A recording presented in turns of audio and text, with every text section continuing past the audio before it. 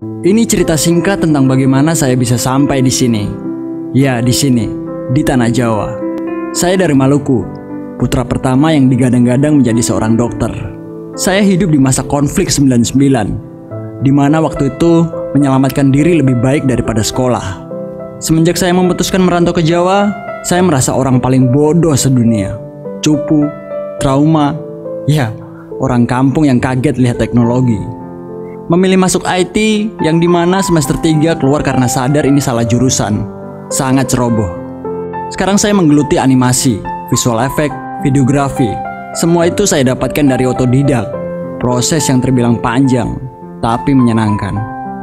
Kata orang siak bodoh, anak bodoh yang membangun sebuah tim dan rumah produksi secara otodidak.